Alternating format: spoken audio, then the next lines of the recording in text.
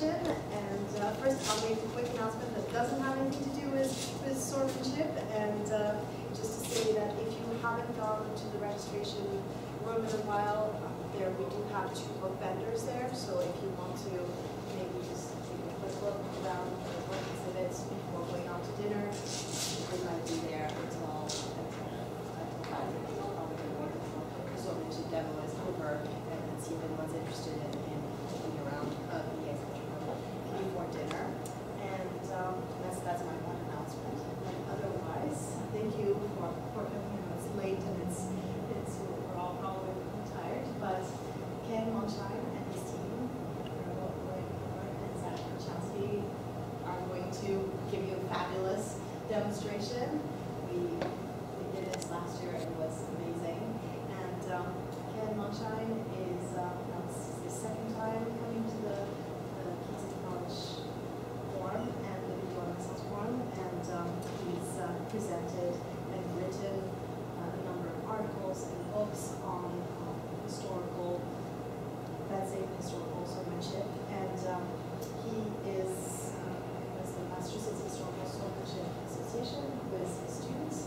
And he is also associated with the Arthur F. Kinney Center for Renaissance Study at the University of Massachusetts Amherst. And, uh, Sorry. Thank you very much. Um, Bill, may I ask you to person the PowerPoint and to just hit the down key for me when I give you, uh, give you the word? So in keeping with the theme of the conference, what I wanted to present on today is the visual desi- devices used to represent ideas of time and sequences of actions in fencing treatises from the 14th century into the 17th century. So if you could hit the button. All right, the down, Down key. doesn't seem to do anything. Uh, Enter? no, no, on my laptop. Oh, oh, wrong device, all right.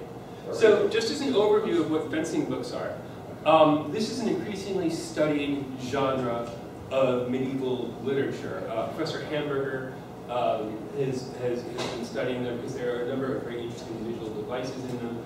Uh, there's a recent Brill Fight Books volume with a number of authors, which I contributed to. And it's the, these are increasingly being recognized as useful and interesting sources for learning about things that historians are interested in.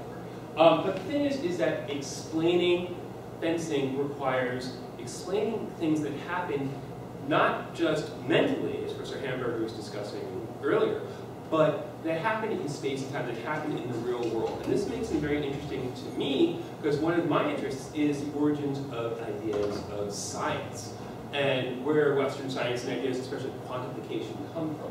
So in the paper I gave earlier today, which I'll be putting on YouTube because I taped it with my phone, um, I used some visual devices by several authors that, or se several sources, we can't be sure they're single authors because many of them are anonymous, um, that, and how these accord with late scholastic theories of time and timekeeping.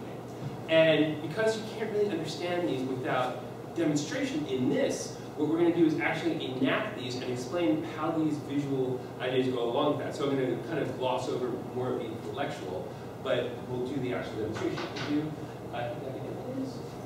Um, so just as an overview, first I'm going to talk about the philosophy of time measure measurement in late scholastic philosophy, just as a very, very brief overview. And then we're going to look at some examples in fencing books. Uh, first, we're going to, what I there is, is um, the 133 manuscript. We'll be looking at sequences of actions and seeing with God's eye in the Tower manuscript 133. We're going to look at Aristotelian physics in the Liechtenauer tradition. We're going to look at iconography of sequence in Fiore dei Liberi's Flower of Battle. We're going to look at the idea of tempo in Italian rapier fencing and how this accords with early, uh, early scientific ideas of measurement.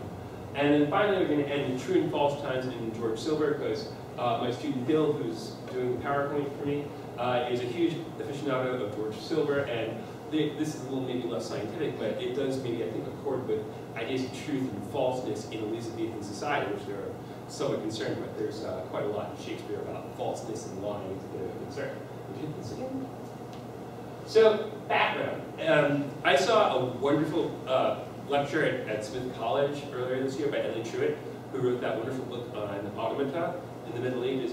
And she made a very interesting point that really lit a light bulb in my head, which is that the codex is in many ways like a clock, that a clock, as Nicholas Cusanus said in the 15th century, contains all times within it. That is, like God, you can see all times at once, or at least go through various periods. So unlike a scroll, there of course we have a Torah, because if you know anything about Jewish liturgy, we read a parsha every every week, and we go through it, and then we, uh, we you know, then at Rosh Hashanah we start over again. And the Codex, though, well, we can flip back and forth within it. We can go from one place to another. It's a choose your own adventure, as it were. So you can be in different places at different times using the Codex. And Ellie pointed out that, well, you know, these automaton clocks wasn't really the same thing, that the same thing can be enacted over and over in this sort of uh, timelessness, which is a very interesting idea, I think. And so codices themselves are timekeeping devices and ways of measuring time. Let's flip over, let's see how this is out.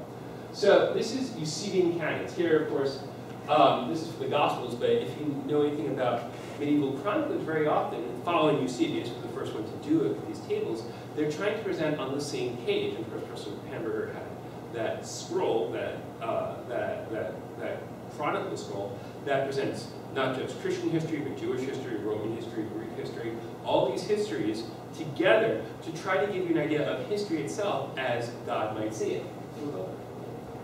Um, of course, various diagrams for determining time. This is a diagram for computus, for determining the, the date of Easter, with ephemera tables and various other things.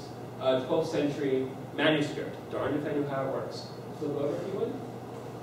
And then, of course, diagrams for mathematical timekeeping, which is when we start getting into this idea of quantification that's so interesting. This, of course, is a copy um, of the Almagest with its geometrical diagrams. Of course, this is used for uh, celestial timekeeping, with star, the stars being, of course, the truest clock that medieval people could know. And according to scholastic philosophy, they mirrored, the stars mirrored the movement of the outermost heavenly sphere, which is the primary movement. All time comes from movement, and of course, nominalist philosophy meant that you had to link movement to uh, move, actual moving things. And of course, you can't actually see the outermost heavenly sphere, but you can see the stars, which are next sphere in in the cosmology of the medieval world, as it, as it were.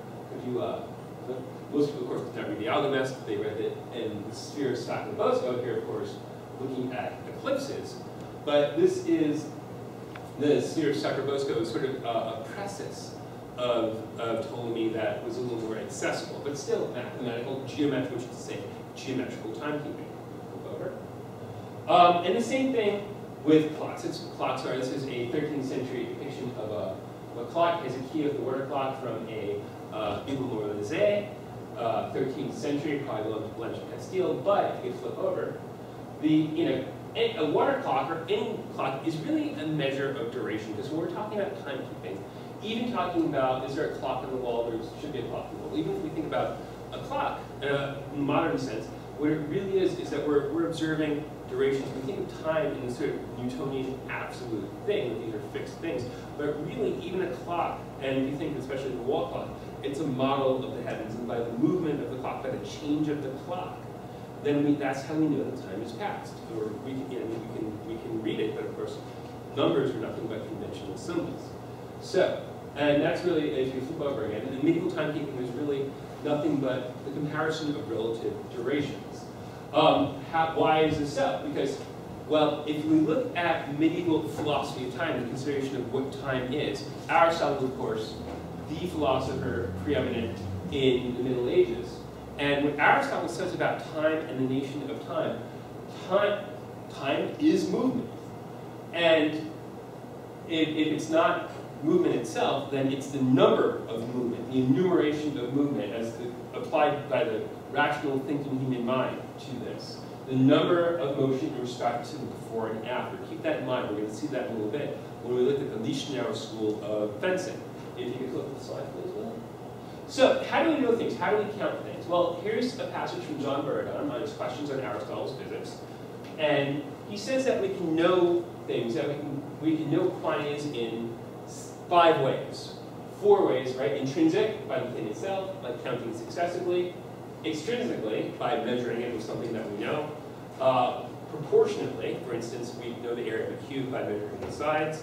And if you flip one more time, by proportional division. And this is really the most important way, because this is how medieval people measure time, by comparing one time against another. We can only really only measure one time with another, the relative proportions of known durations. Um, flip over again if you like. So here's just an example of proportional uh, division from a late 15th century German woodcut. Here we can see the scholar, the human scholar, is measuring with a pair of dividers a line while holding in his mind, sort of a platonic sense, this bit of this larger truth represented as geometry, because of course geometry is number in space, being dangled down by this sort of heavenly figure. You can flip again. And dividers, not surprisingly, show up in a lot of fencing books. Specifically, here's from the 1480s from the Court of Urbino, who says, of that thing over the guy's head, which looks like some, you know, my favorite Martian antenna, um, I am a sextant that can divide, O fencer, heed my reasoning, since you will similarly measure time. Flip again. So, and this is not something that's unique to Vadi. We see this a lot, that uh, Filippo di Dardi, a fencing master in 15th century uh, Bologna, said that he was, he was petitioning for a university position, and you know, this was his cover letter, and he said that he should have this because geometry matches fencing, because in this there's nothing than just measure, as I can demonstrate by lecture, and meanwhile he merits a post in astronomy, which is of course number in space and time, because astronomy is by its nature geometrical, as we saw with the Almagest. Um, and not surprisingly, we see a lot of dividers in fencing masters portraits. There we go, Carranza from 1569, we flip over. And here, De Grassi from 1570, a lot of portraits, a lot of dividers lined up in there. Uh, why? Because it's a symbol of measurement. So let's move on to actually what this means, right? Enough of the intellectual background. Let's look at what this actually looks like flip again. The first thing I want to talk about, and let's grab swords and bucklers, um, is the first fencing book that we have, translated by Jeffrey Forgeng of Worcester Polytechnic Institute slash now also an institute curator at, um, of arms and armor at Worcester Art Museum. Formerly, of course, we worked together at the Higgins. And he translated this. This is 133. And you can see these are very, very iconographical representations. This is not naturalistic depiction. But these are ideas that you, uh, this book depicts a priest and a student and a woman named Walpurgis going through these various actions with swords and bucklers. And there's a various, various uh, sequences. And each begin and end with the cross. And I don't know if you know anything about Catholic liturgy and medieval liturgy, but sequences of prayers, they begin and end with the cross, the priest will kiss the book and begin the prayer. So this is, again, they're using a, a vocabulary they know for something that unfolds in time to mark how things begin. And You can flip over again. Um, and so just some illustrations from there. They start with various wards and guards that are just being shown, nat uh, shown naturalistic, uh, show, shown um, ideographically, very ideographic, of course. It's medieval art, and you move over it. And then these sort of go in sequences. So just John Jordan, Jordan's diagram. So let's just see what some of this looks like. So let's say Zach starts in a ward, and Ian also starts in a ward. Zach cuts at Ian. Ian gets a counter, and then follows through. Good. But there's several things that can be done. If they do a similar cut, then you can do another option. So various things can be done from various guards. So, and then of course this is done naturalistically. You guys want to fence likely a couple, just a couple little bets. So in actual space and time, here's how this unfolds.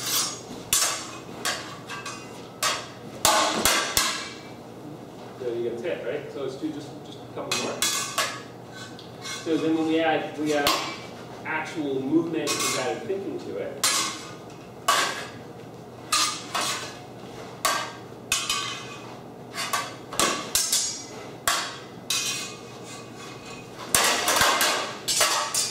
Good. All right, cool. All right, so that's enough. So if you can flip on again, thank you. So we can, hey, it's a warm So it's more the idea that you see how these things operate in space and time. So we, we and the 133 is not complete, we're missing some folio from it. But if we look at how this works and how this operates in space and time, we can actually diagram the tactical choices that you can make in a bout. And of course, John Jordan has done this. So really, if you think about it, this codex is much like Nicola, Nicholas of Cusa's seeing everything that can unfold in a fencing bout with God's eye. You're seeing the whole thing from outside of time, and then you can understand how one thing works uh, or, or not. And then they're using this, you know, the device with the cross to show you when you start to begin. Let's look at something more theoretical. You guys don't want to grab your longswords. So, in a moment. So if they flip the next one. Uh, so, it's a, and here's the, the slide, of course, saying it's a spot device to show all possible times. Right?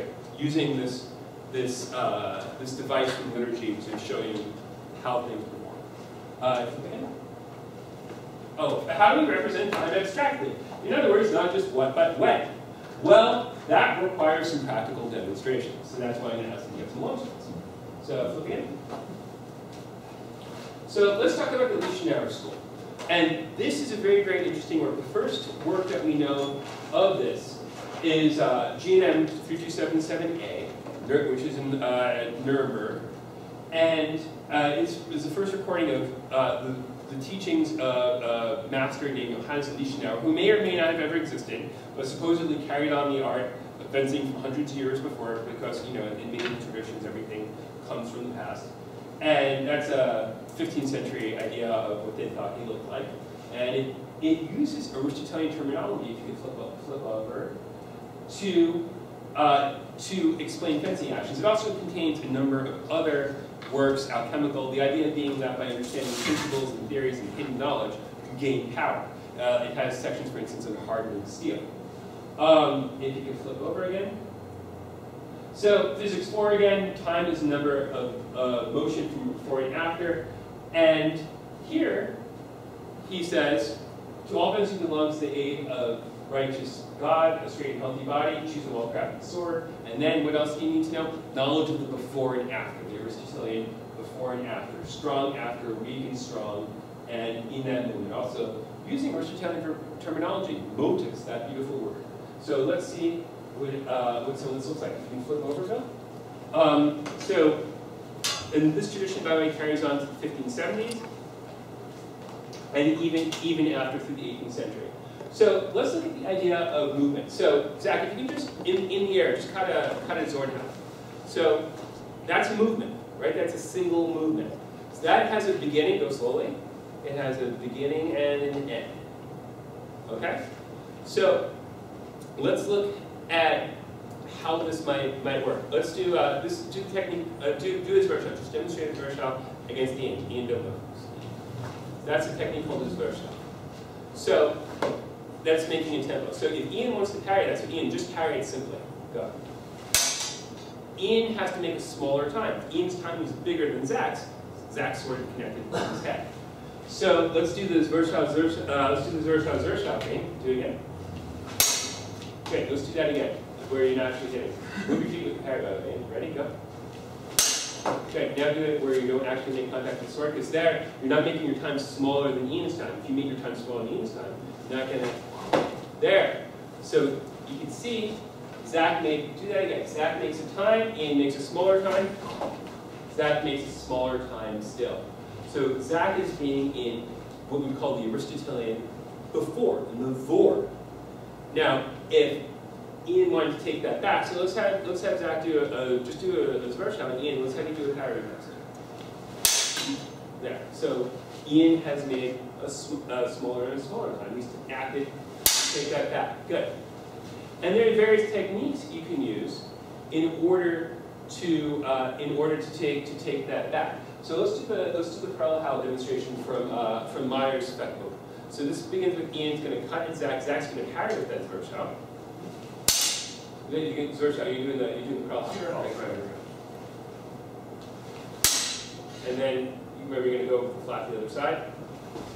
And then there. Okay. Do the, do the tempo now.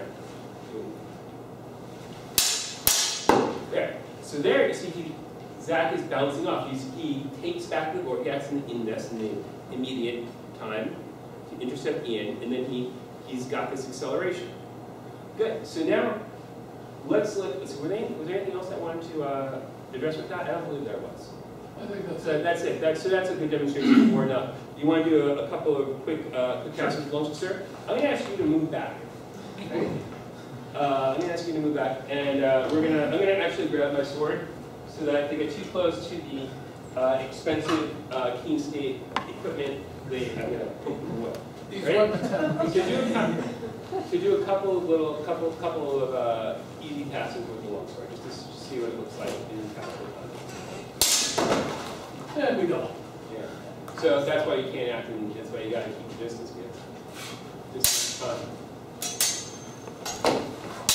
Good, yeah, good. You okay? Yeah, I'm fine. I expected him to back up. Yeah, there's no room to. I forget there's no room to Yeah, move. no. Yeah, yeah. My So, bad. PT, control, Ian, control, one more.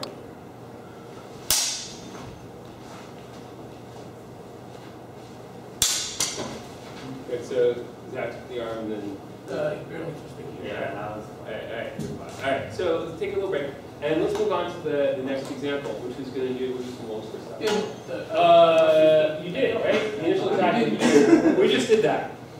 Alright, moving on. Cool, so let's go, uh, I'm gonna use Ian for this, for doing some, uh, some Fiore stuff.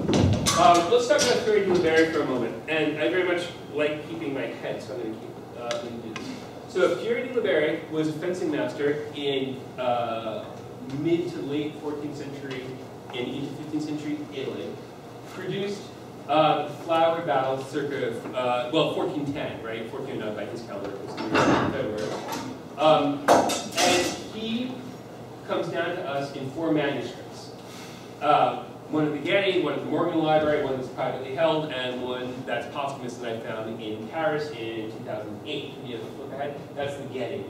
And he uses a number of really, really interesting visual devices that I don't have time to get into in order to depict the qualities you need to have in fencing. In fact, the body, the body image I showed you before is deprived. So the, uh, no, no, go back, go back. The, the elephant is for your stance. Notice that the lynx for eyesight has a pair of dividers.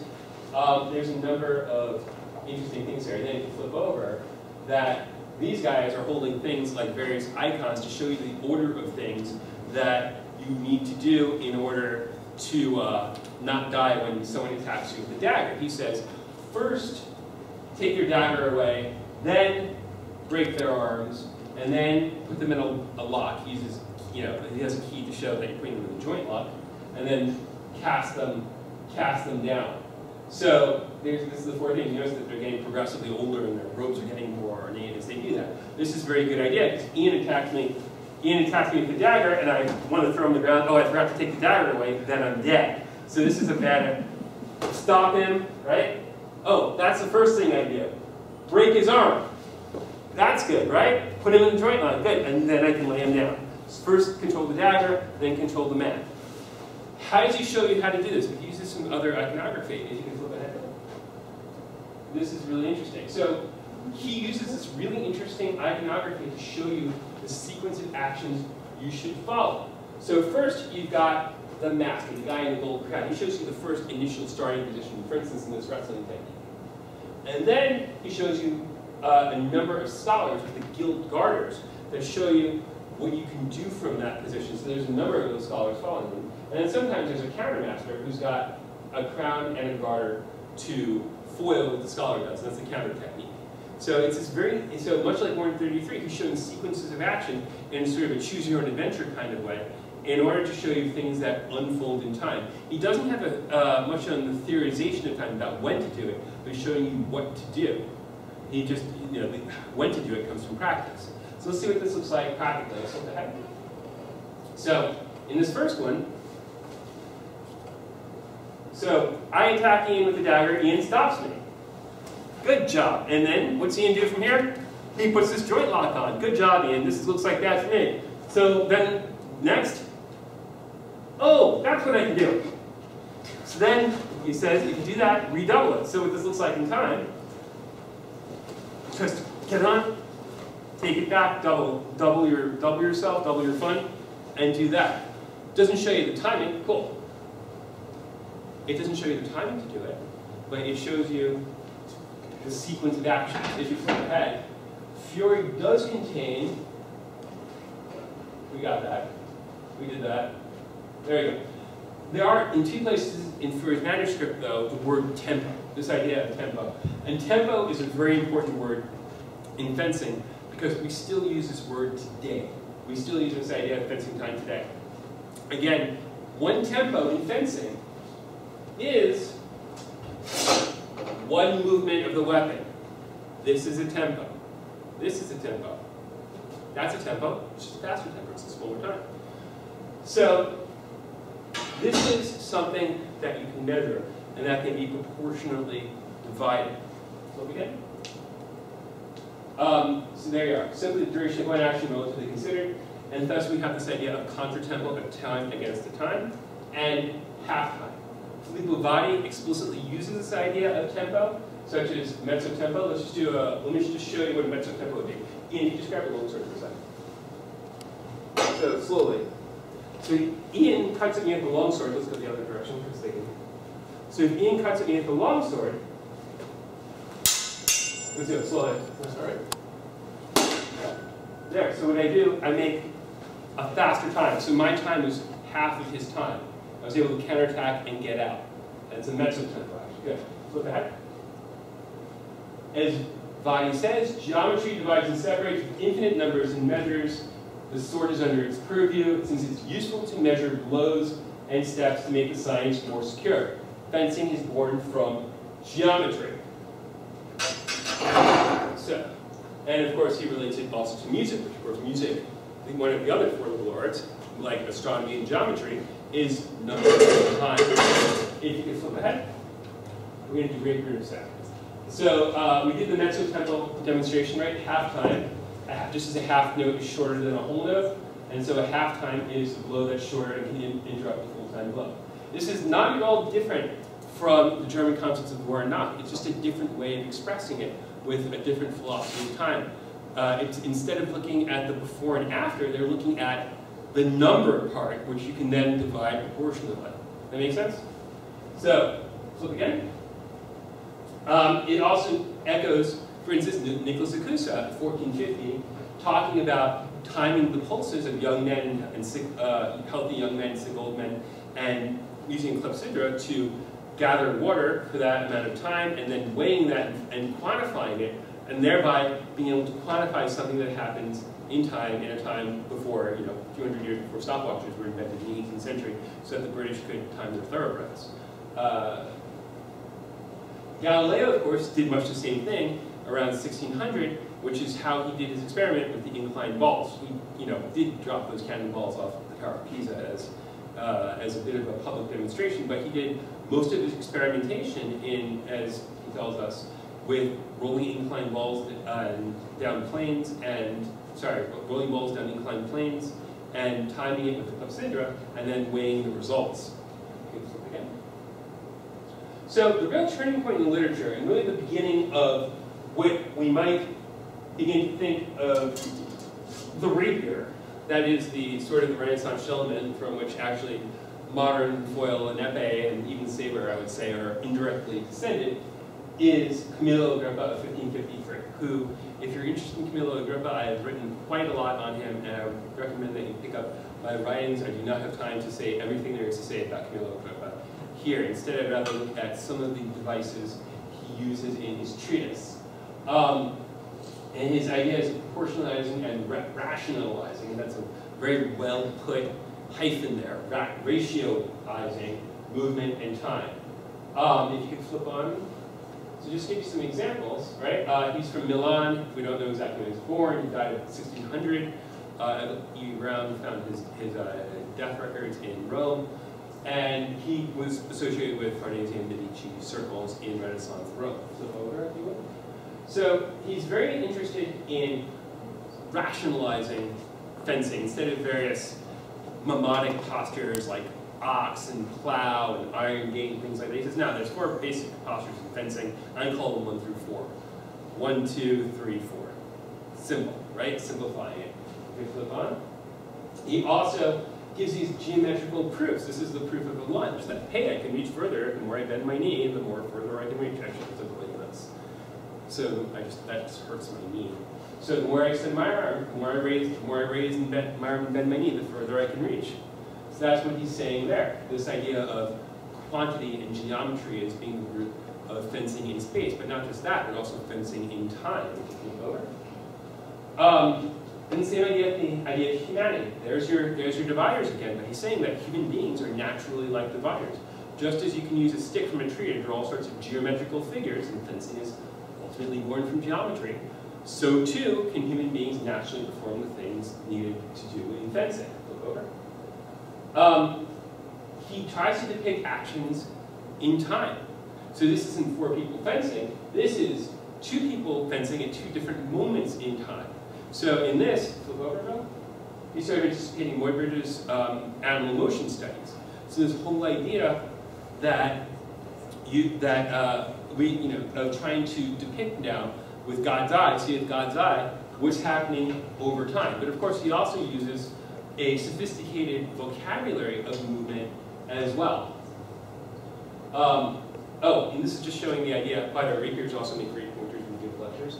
But you can see the idea of time over all things. Here in this, this, um, this deeply iconographic uh, portrait, he's arguing against the old school philosophers, and you know, he's fashionably dressed, and he's got his sword and his foot on the globe, and there's his geometrical diagram, and he's got an armillary sphere, and of course, dividers, and he's arguing there against the philosophers. that time is over all things. Over if you would. So just to demonstrate some concepts in rapier and how these work, how the same concepts really work with, you know, no different a weapon. So Ian's to come, Ian's got a sword, he comes in the distance, he finds my blade, I don't like this, so I'm going to try and find his blade again on the other side, and any movement I make, he's going to go around and hit me. Good, let's do that in tempo. Yes, well, you were explaining. Great, take a step back. He comes into distance, he finds the blade in tempo, and I am struck. So he's making a tempo, right? I make a tempo, he makes a smaller tempo, and I'm struck. If I don't like this happening, remember, now he tried to hit me. That wasn't actually, thank you. So you see I did the time against his time. He tries to hit me, comes towards,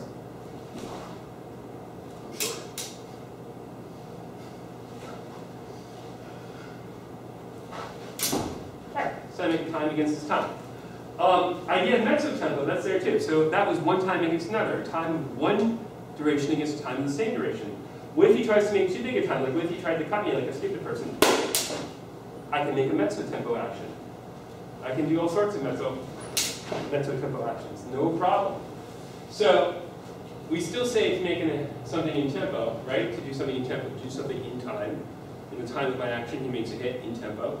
And we still, we would say that these would be, you know, those two actions in contratempo and mezzo tempo, those would simply be forms of counter attack, we would say, and it against an attack. Uh, flip over. Now, and for this, we're going to have to ask Zach, um, Zach to uh, take over flipping, because I'm going to need Bill for this. So the last author whom I want to consider now is George Silver, who wrote in 1599 during the reign of Good Queen Bess, who was an immense English nationalist. Despised those Italians with their rapiers. Believed in good English steel, good English old methods. Rooted his nationalism in the past. Would have no doubt fought for, uh, voted for Brexit. Silver, Silber was definitely a Brexit guy. And Bill is our, our, uh, our, George Silver. So, this is, so he talks about he calls true times and false times. And I kind of relate this, because the false times are not really the times you really want to move in. Or if you are, then you're doing it because you're using it to false or fake, to fake somebody out, perhaps. But he says basically, you, you need to move in your true times. If you don't move in your true times, bad things are going to happen to you. Um, so this falseness, of course, is something bad. I mean, this goes back to Italian honor codes where duels were born out of someone giving the lie. You've heard giving the lie, and this was in codes of honor and Lucio, etc. This is what, what birthed, um, what birthed uh, duels. So, uh, a little, little quote there from Romeo and Juliet, you lie, draw if ye be men. Um, and of course, they, there are swords and bucklers because they're serving men, the in England. Um, but yeah, there's, there's a lot of questions in, in the, the literature of Elizabethan of truth and falseness and deceit and dissimilitude and distrust of courtiers and other foreign things. That what was English is true and natural and good, and that which is false is Spanish or Italian, but generally strange. It's from south of, it's from over Calais, and we generally don't like that because we're British and we're leaving the European Union again. Uh, if you flip over. So, quote Silver, there are eight times where a for a true and for a false. Flipping over. Let's look at what these are. Two times, the time of the hand, the time of the hand and body, the time of the hand, body, and foot, and the time of the hand, body, and feet. So what's he saying? Leave the sword. He's talking about the, the kinetic chain. If you leave the sword, then you're, you're, you know, then you're making yourself fit, safe. But as we're about to demonstrate, why leading with the sword is a good idea. Flip over. False times. The time of the foot. Bad idea. The time of the foot and body. Bad idea. Time of the feet, body, and hand. Bad idea. I just stepped into danger and I ahead. Let's see what this looks like in real in in life. So if I let's uh, let's Bill and I we're gonna stand too close, and we're just gonna be in the time of the hand. So if we're in time of the hand, we're in bad shape because we can't. I can't react in time. I can't react. Keep doing that. Keep hitting me in the head. I can't react in time. I can't react in time. I can't react in time. I can't react in time. I'm just going to get hit in the head. I'm going to stop that before I get CTE. But now, if Bill uses a false time, let's say he steps in and then he cuts. So he steps in ahead of his cut. I hit, cut him, and then, while I'm safe, even if he wants to hit me, plenty of time to parry. Let's do that a little more in, tempo. So step. There you go. That's easy. But if Bill is at the proper distance and he leads with his hand, then he can hit me. I'm late, and then he gets back and escapes. Right? We'll do that again. So leave the sword in time, and gets back and he escapes. Of course, I can if I see him coming, I can parry, right? And then in trouble, time of the hand, right? Get back. So he can make a feint, but of course to make the feint well, he's got to lead with his sword. So he leads, he goes. So we got good? Not so Move good. your foot first, huh? Have your hand up before you ever reach me. Lead with the sword. There. So he draws me and then I go. Do that again. Nope. There. He led. You see, he led properly, and I couldn't do anything. Good. That's it. So that demonstrates how these expressions give life, rise to physical truth. Good. Flip over. So, just to sum up, this, this quick, quick and dirty little demo. Um, to sum up, timekeeping in pre-modern Europe was not about stopwatches and absolute time. It was relative, not absolute. Fencing books very much participated in this early modern scientific debate of how do we measure time.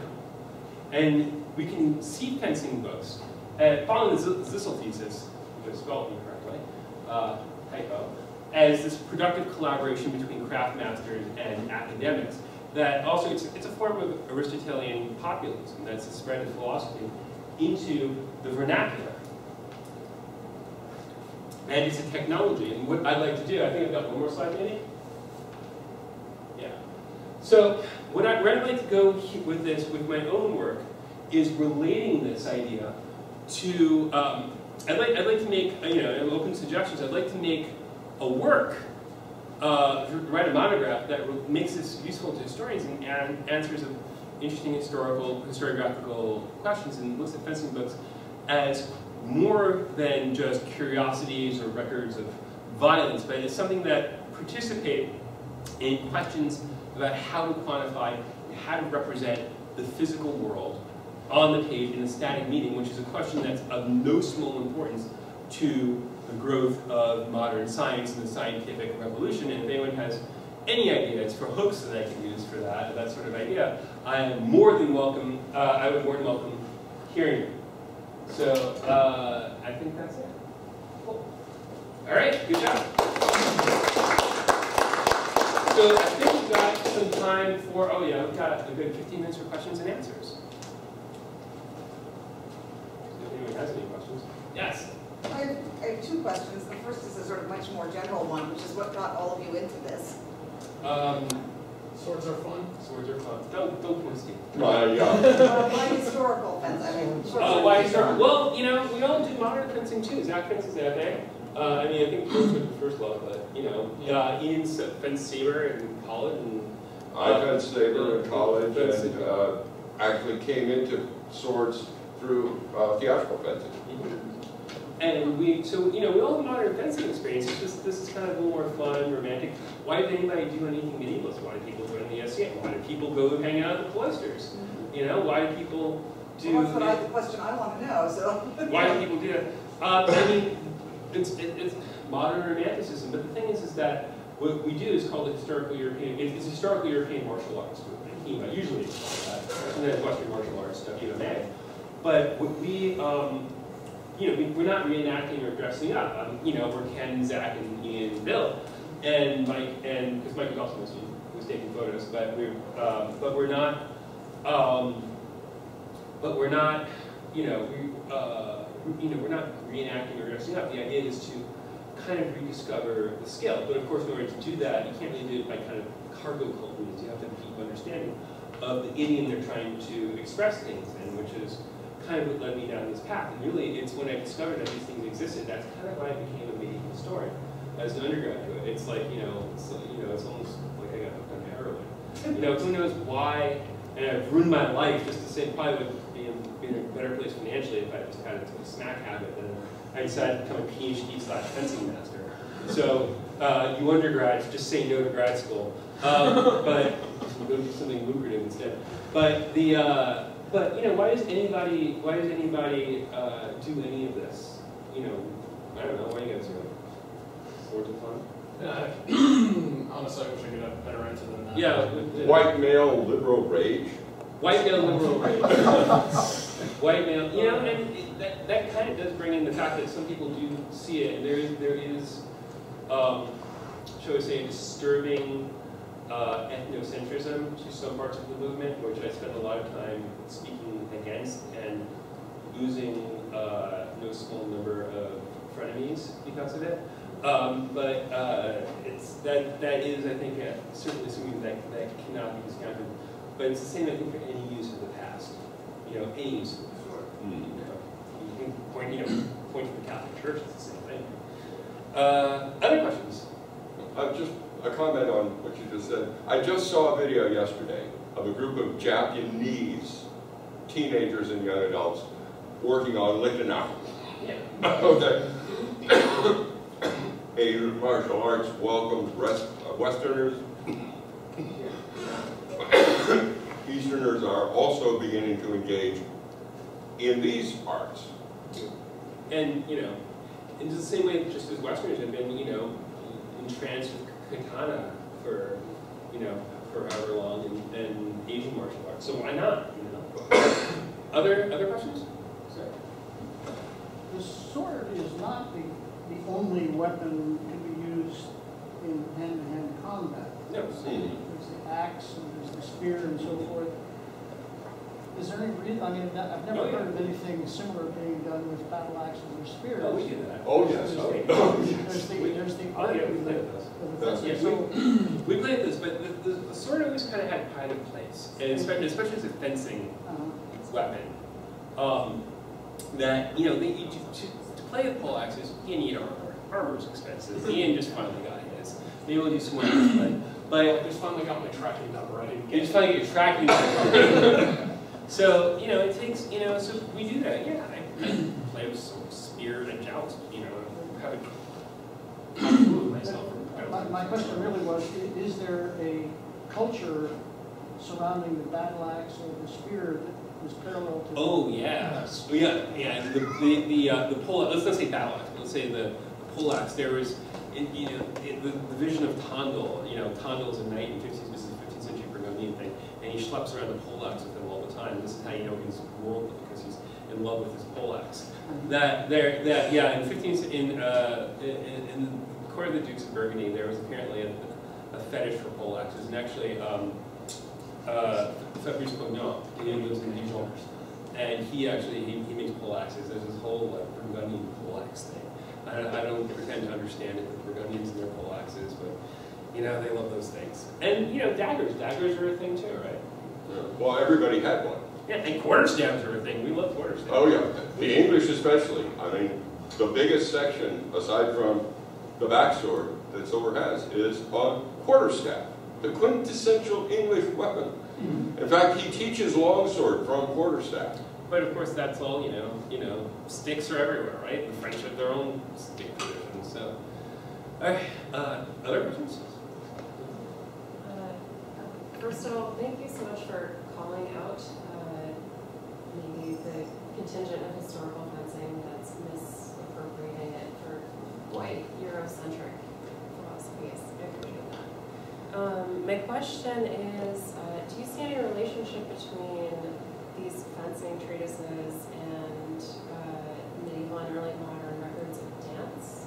Um, there's quite a, a, a crossover in terminology, also ideas of tempos and things. There are people who do work on that. Um, I am not a dancer. Um, I don't, I don't dance. You're very graceful. Uh, well, to, to, to parry La Bamba, you need a couple of. It Um, but- so. But it is, it is, it is very much, you know, never give a sword to a man who can't dance. But um, there are, there's, a, there's quite a bit of overlap in terminology and also ideas of tempo and things like that. And also, it's also, even more importantly, it's all part of this, the culture of courtliness. And, you know, I'm reminded of that famous bit in, in the courtier where uh, a gentleman is at a ball and the lady asks him, do you dance? He says, no, I don't dance. Well, we converse, we do anything. He says, no, I, what, what is your business then, sir? I, I fight. Well then, someone should oil you and put you away in a cabinet lest you grow rusty or disuse and lose peace. So, but there's the idea that yes, a gentleman ought to dance, and a gentleman should should dance. Um, and also, the, a lot of the movements, uh, people see a lot of movements, especially things like Spanish rapier fencing, and crossover of various sorts of, sorts of, of dances. Um, and actually, Sydney Anglo, who is um, really sort of like the dean of these, these studies, uh, his wife is Margaret McGowan, who's a very good dance historian. So that's a, and actually, I hope that in terms of us as a field that in time human studies will come to be as recognized as dance studies. So whether it be a chair of that, we have to find out. Aside, fencing relies on hiding your movement, whereas dancing relies on communicating your Yeah, movement. this is important. So they are somewhat conflicting skills. Yeah, Yeah, this is true as well, yeah. Uh, sir? Actually, my question is very similar to that as well. But in the dance manuals, on the walk over in the case of our feet, they say just do this, do this, do this, and do that. So I'm just wondering, are there fencing manuals that don't get involved so much in the philosophical vein that you were speaking about? They're just practical how-to manuals The thing is, is that unlike a dance, as Ian kind of pointed out, right? You're, you're, it's, it's not do this, do this, and do that. It's that it's you do this, then if he does this, you do this other thing, and like maybe you should do this other thing in the first place and do this. It's a lot looser because you're trying to deceive the other person, not work with them. So it's not as simple like the diagram of 133. It, it starts getting very complex very, uh, very, very quickly, and there's also things like hiding, hiding your movement, things like that. So the theorization is very important because that's an abstraction of skills that you need to, to do that. And of course, is something that, you're, that, that you, you learn through experience. But lessons, to give a lesson. You Remember how it's sort of working with Ian and I gave him a cue when he did something? This is how it was taught historically. Um, this is how it's still taught, the individual lesson. And this is somewhat like a, a partner dance, where the master provokes the reaction from the student, and this is how you, you gain body knowledge of it. This is still how I teach. Um, when I give a lesson, it's, it's, it's an embodied knowledge. So the passing it on is something like a dance, but the actual execution of it is nothing like a dance. Yeah, um, this was wonderful. Uh, I was just wondering about the importance of the sound uh, in fencing. Um, you know, maybe using it, uh, uh, using it um, for measuring the distance from your opponent, um, or does rely purely on uh, on sight. You know. Uh, I mean, I have this idea of this romantic um, training uh, in fencing when you are doing it blindfolded, or is this just like a movie trick? So how does that work? So how does that work? Here, Ian, come, or actually, uh, yeah, me do it, yeah, yeah, yeah, don't do it, because, you're standing there. So, Come here, close, close yours. Close yours. Hold your arm up. Good, okay. So, when I thrust at you, thrust back. Good throw. Where am I? Where am I? Which ones? Which one? Okay. So, he's got his eyes closed, right? It's not, not sight, feel. So, um, it's Sentiment du fer, Fühlen in the German, Sentiment du fer in French, Tasso in Sentiment of your Italian, devote. Sentiment- Sentiment du fer. It's modern, le modern, the modern French. Yeah, it's the same thing. So not by sound. It's not by sound at all. It's by touch. Sound, sound you can't perceive. We're not bats. We're we're we're, uh, we're not fledermaus. But um, but we're um, but uh, yeah. So, so that that is, is important. The sources talk about that a lot. Um, I didn't get into that because that kind of got away from time, the, the time aspect that I was concentrating on. But he, but uh, Lichtenauer says opposed weak with, weak with strong and strong with weak. If he's strong, yield to it. If he's weak, go through it. And that's all further. That's all feel.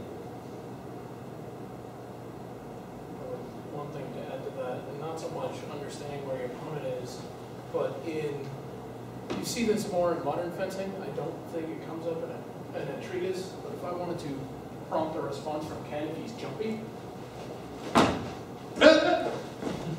Yeah, the, yeah. This no, does not the sound appel- like the that. the appel- there is, no, there's, no. this does not sound like a fencing strip. It's supposed to be a lot louder. Yeah. These shoes. No, the strong. appel, the appel is a, is a very important thing. Um, it's in a lot, I mean, they have those big fencing slippers too. No, the appel is very, very thoughtful, everything, yeah. It's more small sword though, really. Yeah, we're, so it's a little later period than these. Yeah. So, any other questions? One more, which is that I've been sort of hearing things and people talking about sword making, about something they call edge geometry. Is there any connection in that geometry and the geometry of the movements you're talking about? Mm, let's talk about geometry. So you need to look at the work of Peter um, Johnsson, who has wonderful work on sacred geometry as in cathedral proportions and cathedral geometry, and the construction of swords and how swords can be kind of reduced to geometrical formulae. Uh, Peter Johnsson, um, and that that's and then geometry. And geometry, it just requires it's just the angle of the edge uh, when you've got a knife or a sword. I mean, I don't really bother with sharp objects that much. It's not my business. I don't actually try to kill I'm not trying to slice each other's. No, but you know, other than kitchen knives, I like cooking, so I like my kitchen It knife sharp. tends to run into legal issues when you use sharps. Yeah, and also you tend to run out of students, and it makes it hard to make a living.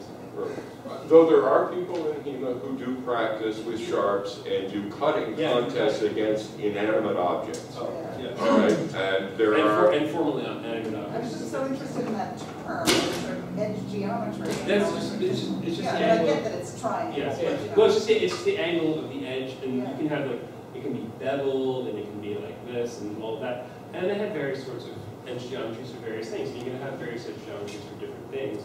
So, for instance, you might have a very thin knife, very thin for like a filleting knife, and then you may have something that's a little more robust, that's gonna be a little more wedge shaped for, uh, for a long sword. So that's, it's just, it just refers to sort of the cross section of the edge. That. That's- That actually uh, brings up another point about sound.